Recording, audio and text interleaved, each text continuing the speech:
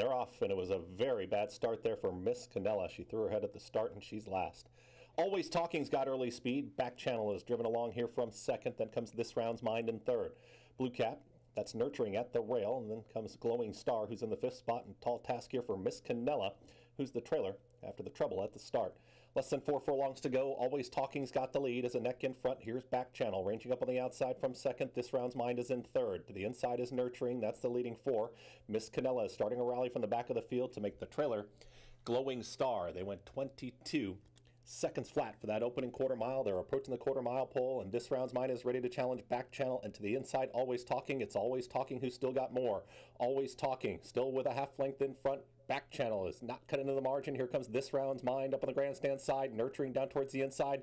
Miss Canella, is she going to pull this off? Lime Green Silks has a furlong left to go. Always Talking is still in front, nurturing back channel. They continue to chase this leader who still fends them off.